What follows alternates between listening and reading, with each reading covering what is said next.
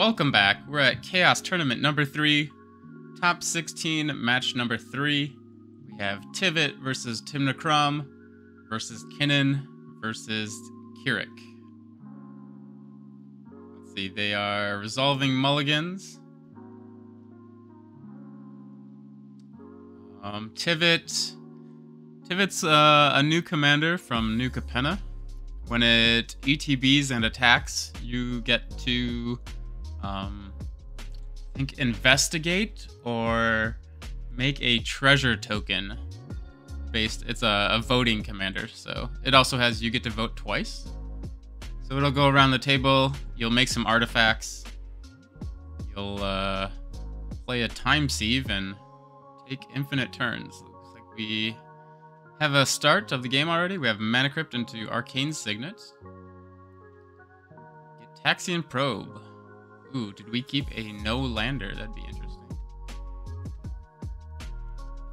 Our target for Git Probe. Um, I would probably hit uh, Tymna Kraum or the K'rrik player. K'rrik can have some very explosive starts, so if you could warn the table about that, might help. Land, Lotus Petal,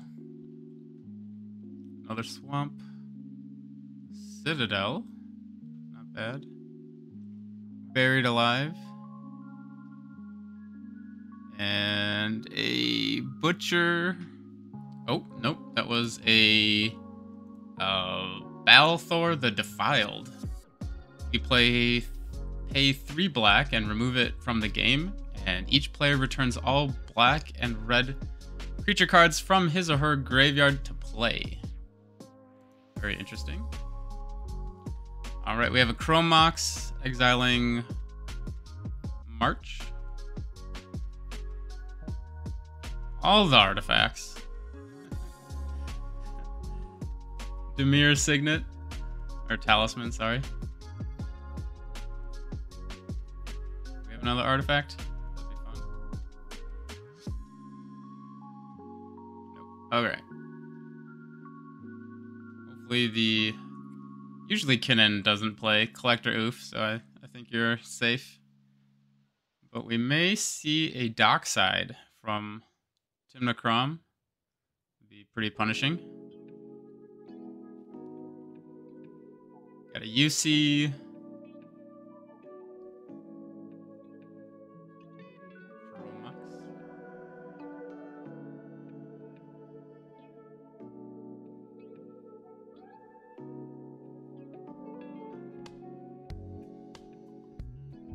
Pierce to the Chrome Mox. Two for a Wish Claw.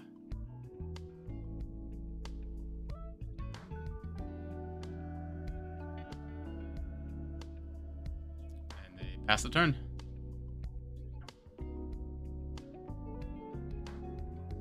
We see a land, a Lotus Petal. Don't remember if they had anything. I think they'll just pass the turn here. All right, Kinnan. See what you got. I've been playing a lot against uh, Kinnan recently with the uh, Hires big flips. It can be uh, pretty devastating.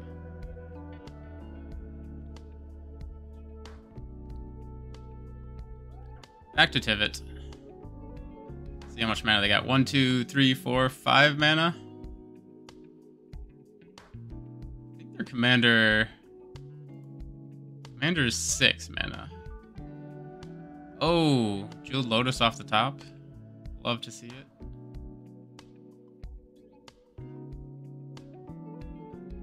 You could tap uh, Chrome Mox and your Talisman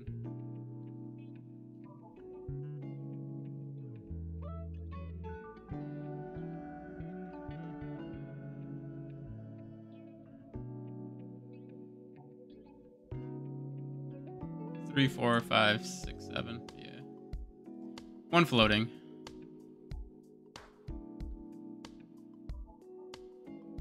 Let's do some voting. Remember, folks, you are only allowed to vote one time in normal ele- elections.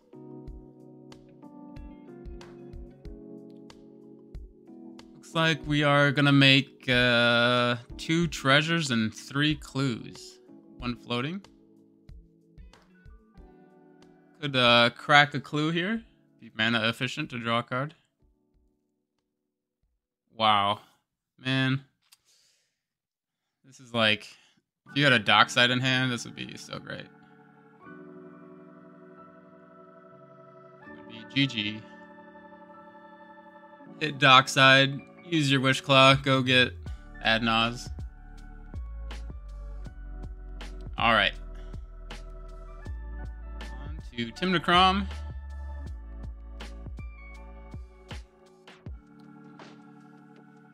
No red mana, so can't really use the Wish Claw to go get a Dockside.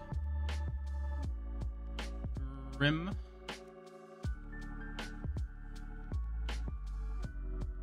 Let's see. Four mana.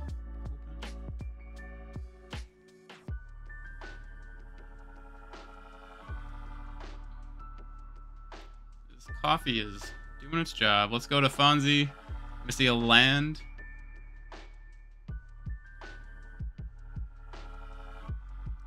Land pass. It's pretty uh pretty slow start for Fonzie. Usually usually K'rrik is has a win by turn two. Soul Ring.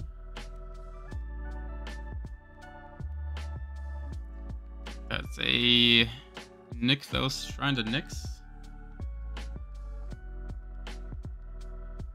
Do not have the uh, Simic mana to get Kinnan into play, which is a little little sad.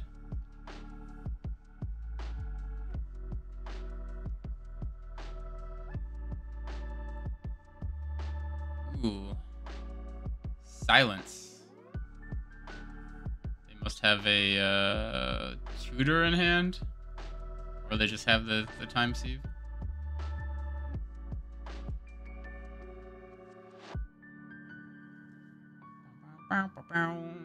Alright. Tymna Kraum. You gonna let it stand?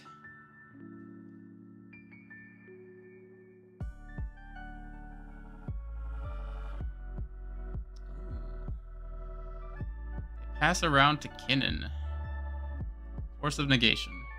Pitching an offer you can't refuse. Interesting that they would do that. In response, Nas.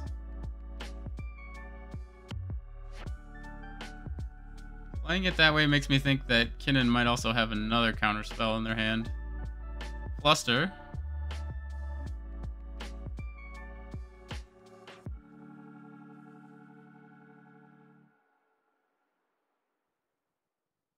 I guess it's not too bad. They could have paid for Fluster, so. Oz will be countered because you only have one treasure left.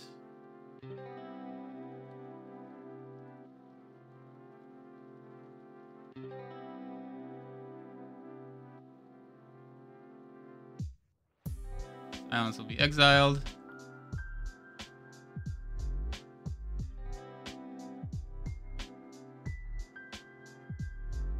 Ah, uh, so they didn't have the tutor, they just had straight up head Nas. Love to see it. Go to combat. Someone's gonna get bonked. I'd probably hit Fonzie, maybe, or I'd probably hit Fonzie just because K'rrik. Although uh, Blue Farm has uh, do they have Nas if they one, two, three, four, five, six, seven, yeah.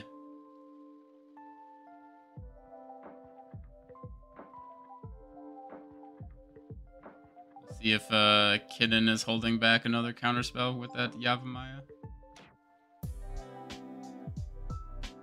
Like we're gonna we're gonna investigate, crack a clue.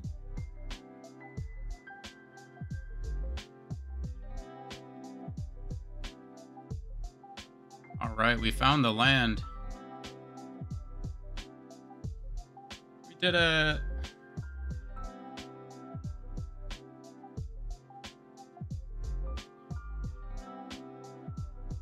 All right, let's uh, let's go find our Nas. Uh, you have to tap mana to pay for Wish. You, uh, you have to tap mana to pay for Wish Claw. or not. No one's watching. Uh, we'll just uh, just activate it. Oh, you gave it to Fonzie? That's not good. I would have given it to uh, probably Kinnan.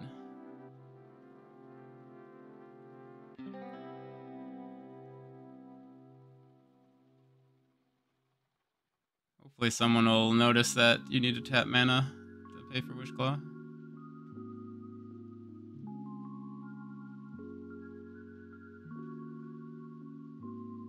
oh. Judge. Need a judge. Well, if your opponents don't catch it, you can do whatever you want. Uh, Tainted Pact.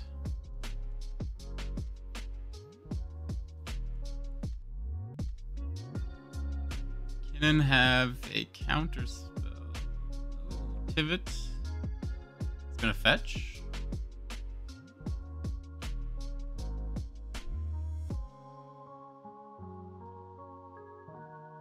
That would be sad if Tivit had a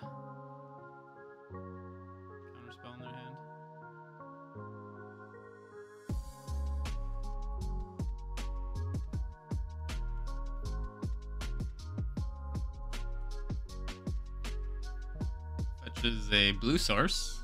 Never a good sign. Offer you can't refuse.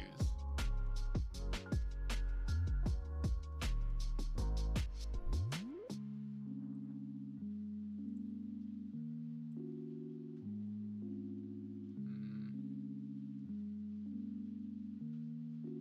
I wonder if Tainted Pact is what they wish Claw for, or if they went and got Oracle.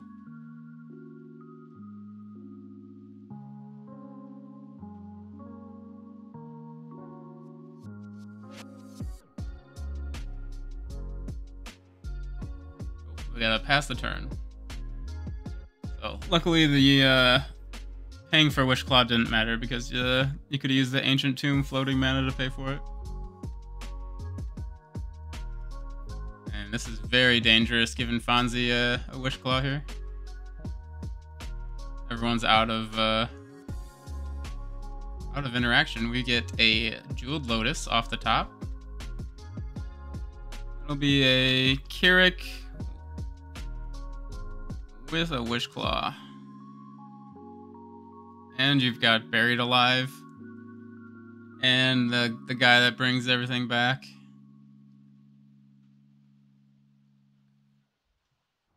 Looking at the game time, we have 15 more minutes to go, so we'll see if the win takes 15 minutes or we go another round.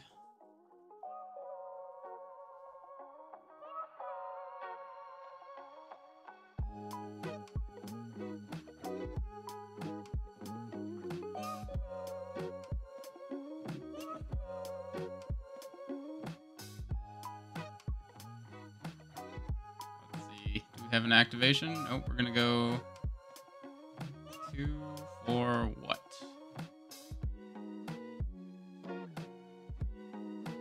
Uh, buried alive?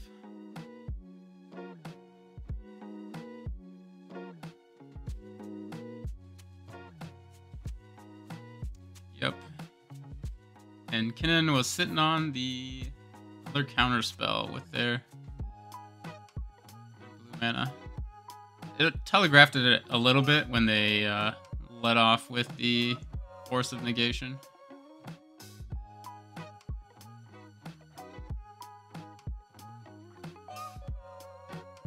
Jeweled Lotus, K'rrik, Buried Alive, Fluster.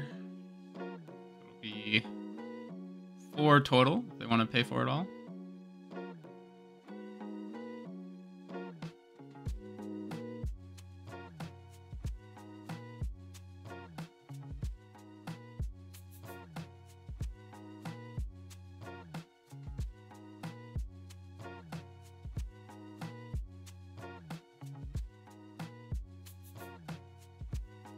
Could activate the Wish Claw, but I'm not sure what they could get here to protect this, so it's probably it's gonna get countered.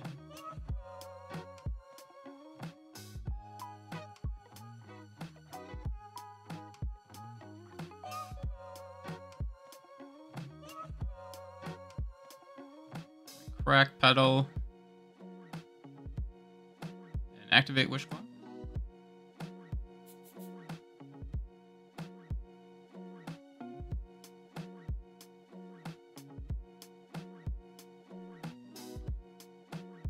See, what could they go get?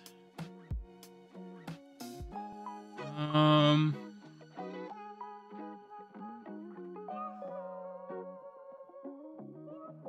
Probably Blood Celebrant would be my guess.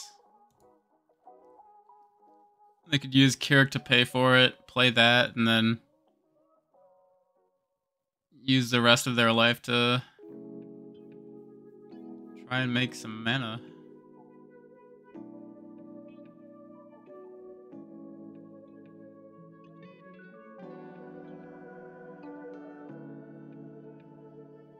We have to take a moment here and appreciate Fonzie's nails. They are quite nice.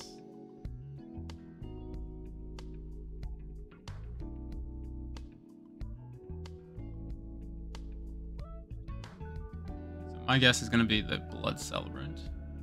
Or it could just be a setup for next turn. Trying to be mana efficient, I guess. I think if you're going to set up for next turn, you just hold on to it.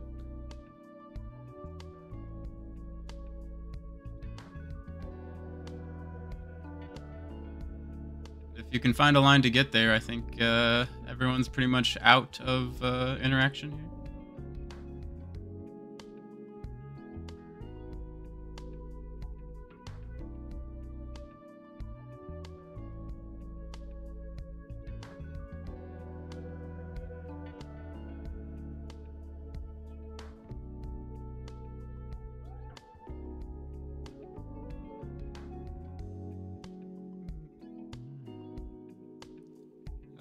Dark Ritual.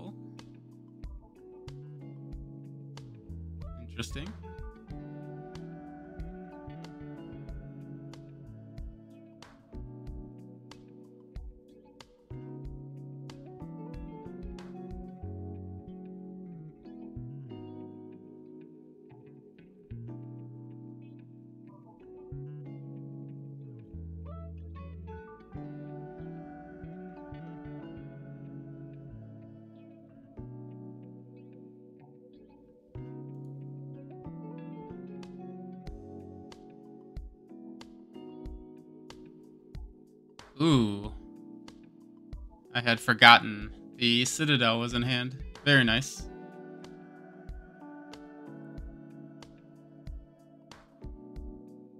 Ooh. Ah. Ouch. Wow. Imp seal off the top. Uh-oh. This is where the uh, sirens start going off.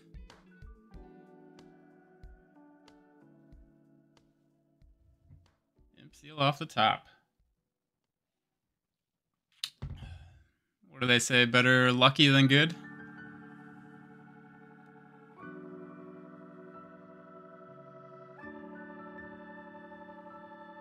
Alright. Is there one card we can just put up on top to run this game out?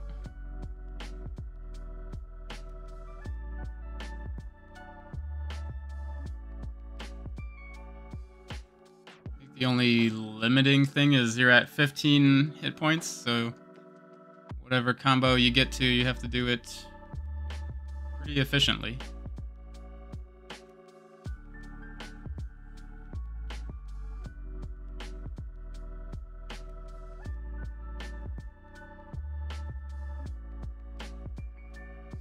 This is where you have to say, uh, why did you give Fonzie the Wish Claw? Why'd you do that?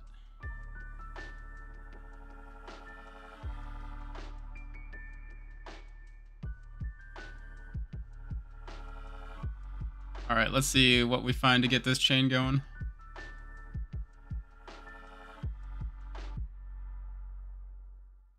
Just like straight up here into the abyss. That'd be funny. But, oh my god, it is. Called it.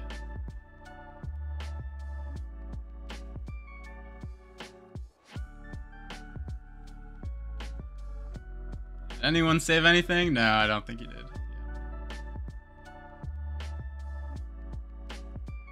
Very, very fun.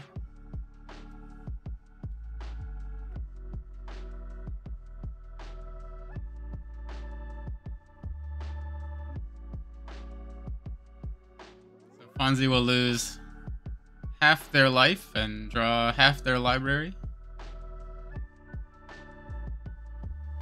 Should probably be like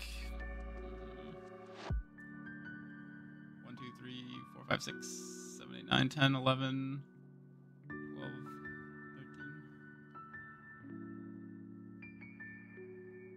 13. 40 something. I'm not sure how many cards are left in their hand.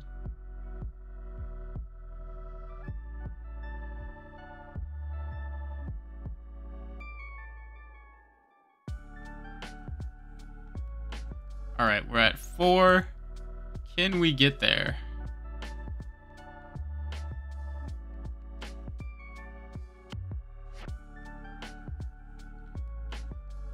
We're gonna need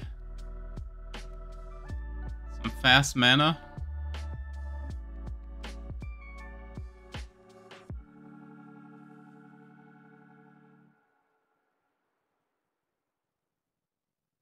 Some fast mana or some ways to gain back some life.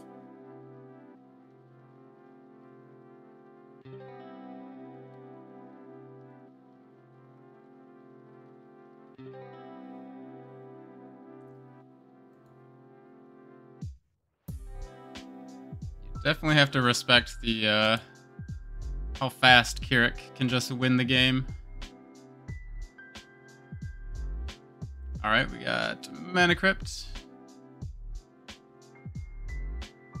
Diamond. All right, we've got our mana.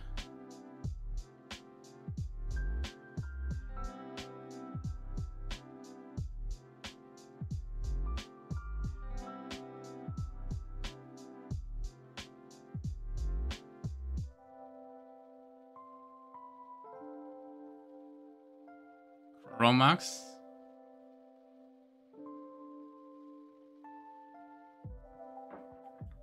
we've got four to play with. We Can even do one more off of Yawgmoth. Or K'rrik, son of Yawgmoth, if we need to.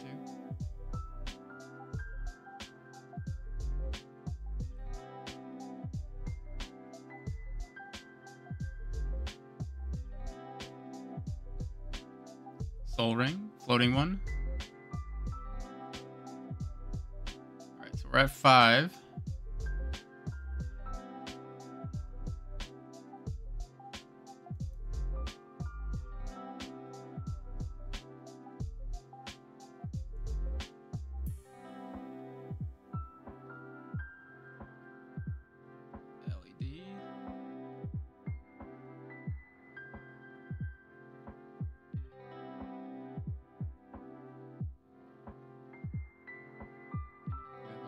Cards into our graveyard, maybe?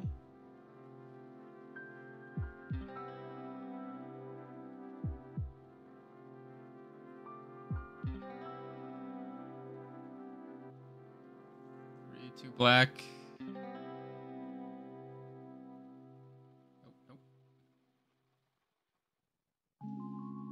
One black. Uh, Skirge familiar. That will allow you to discard cards to make black mana. Yep, choose and discard a card, add a black. So we have our discard outlet to get uh, some creatures into our graveyards. You'll be able to make a whole bunch of black mana with all those cards in your hand.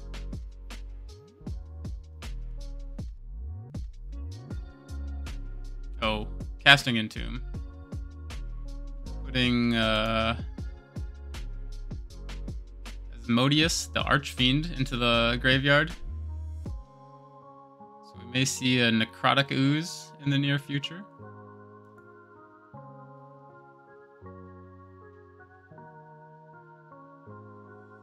Yeah, this is this is this is game. Yep, necrotic ooze.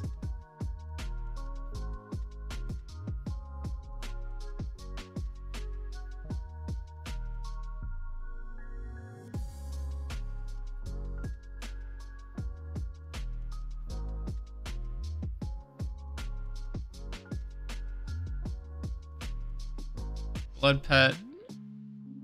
Even more. Discard, make a black.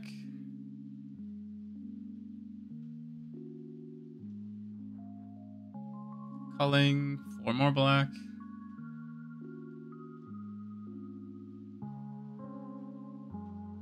Alright, we've got all the mana.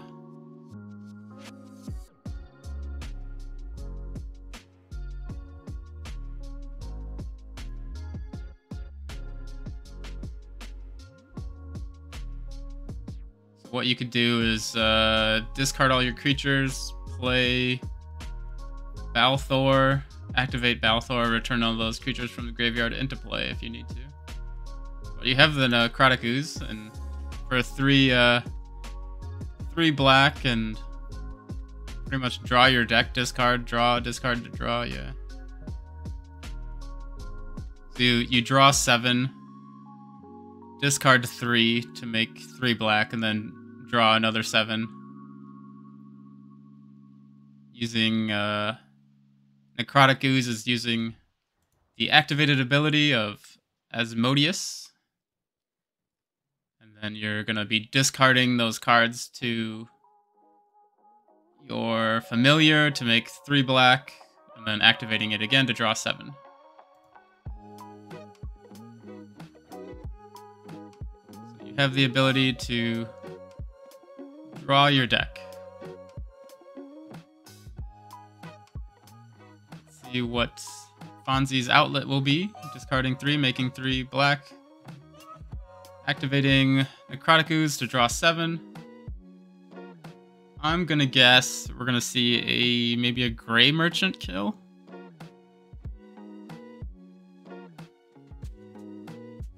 Vile tumor. Okay, that think it has an ETB ability to entomb something.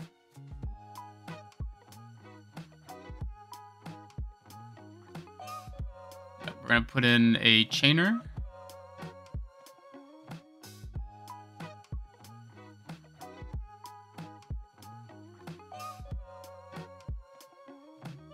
I'm just going through the motions here for everyone. This game is over. Discarding Gray Merchant.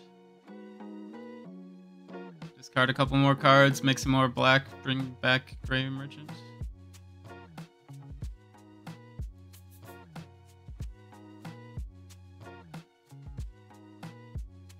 So Necrotic Ooze can pay three life and three black to bring back uh, bring back Gray Merchant. Nope, but we're just gonna animate dead to get some life back. Our devotion to black is a whole bunch.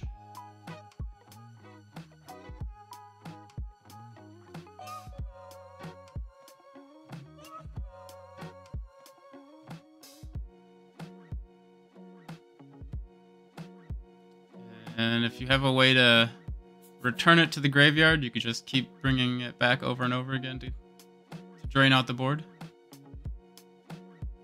Oh, yeah, we have uh, that one. Um, Dimir Houseguard is a sack outlet for creatures. So you're going to use the Necrotic Ooze ability to sacrifice the Gray Merchant, and then the Chainer ability to bring it back. And that should be a scoop. Very well played. And we'll see you in the top four. Fonzie, congratulations. All right, on to the next match. We'll catch you later.